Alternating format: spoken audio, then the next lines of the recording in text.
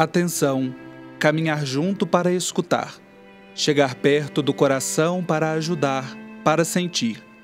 Nem sempre isso se faz fisicamente. O fundamental é escutar a dor do outro e semear flores em seu caminho para a vida ser mais leve e feliz. E eu lembro que. E eu sempre tive esse desejo muito grande de ajudar as pessoas. Então eu falei, eu vou fazer fisioterapia que eu vou poder ajudar muito mais pessoas, principalmente quando estiverem passando por situações difíceis na saúde.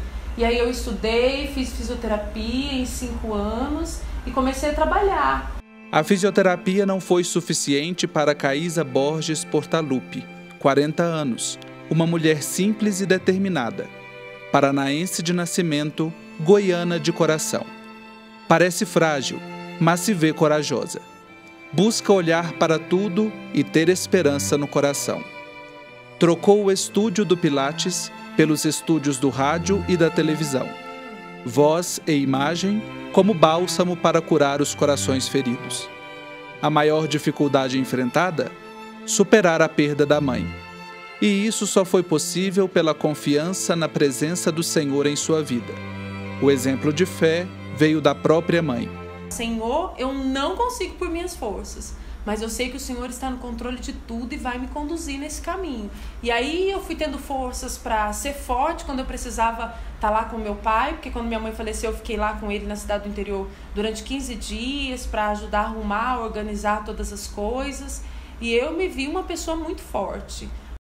Caísa busca sentir o amor no contato com as pessoas, no abraço, no encontro, na troca das experiências. A comunicação é a sua força vital e, por meio dela, encontra a forma de viver sua missão. O que eu acho hoje que as pessoas mais precisam é de exercitar o amor e, por consequência, o respeito. Porque eu sempre trago uma coisa para mim: todo ser humano, independente do que ele está fazendo, do que ele faz com você, ele é uma pessoa digna de respeito e de amor.